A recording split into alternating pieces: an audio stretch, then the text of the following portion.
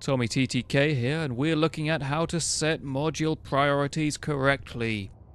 I've got this Eagle here, which I've uh, kitted out with some overcharged lasers, which as you can see gives me a total power usage of over 100%. It's at uh, 118% there, which is quite a lot. And this, this is quite a stupid loadout. Don't ever have a ship set up like this.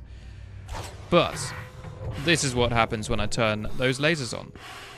All my systems have turned off because the priorities were all set at 1 and I didn't have enough power to uh, to use any of them. So I'm running out of oxygen, I can't use my thrusters and my shields are offline too. So let's go ahead and put those uh, weapons away. There we go, atmosphere is restored, thrusters back online, and my shields should be coming back online. Just speed that up. What we're going to do is change the priorities here. So, we're going to have... Yeah, shields on three. Cargo hatch down as well. Everything else on one, weapons on two. Now, what that means is that if I deploy my weapons now, the shields and the cargo hatch should shut down, and everything else, being a higher priority, should be okay. The shield usage and the cargo hatch together add to more than uh, the 18% we need. And there you go, cargo hatch and shields offline. But everything else is fine we, uh, let's try moving the life support down now and see what happens. It's okay on two. Uh, there we go to three and four. It's now shut down because it's a lower priority than the cargo hatch and everything else. Let's switch that back on before we die. So now let's try something a bit more sensible. Let's have the shields a higher priority than the weapons. So shields are on one. Weapons are lower.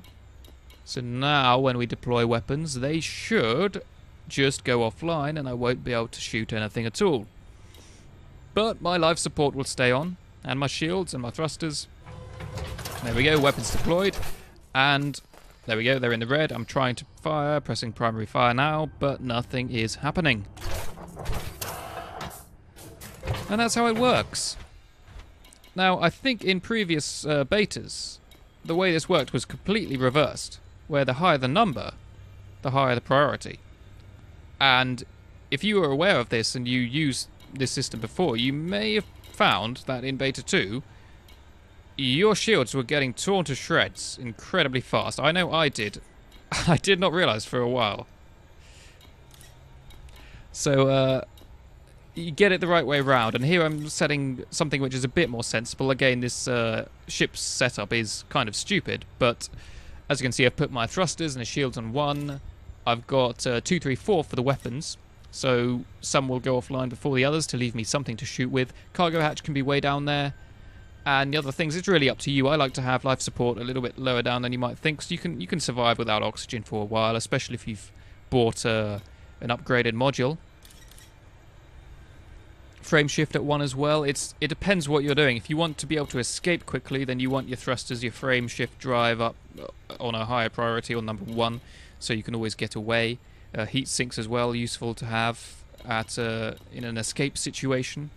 So there you go. That's a bit more of a sensible setup there. We'll see what happens if I deploy my weapons now. Okay, no important systems going offline. We can see one of the weapons and the cargo hatch is down, but everything else is powered, which is a lot better than having the entire ship shut down. There we have it. That's how to set priorities. Lower the number, the higher the priority.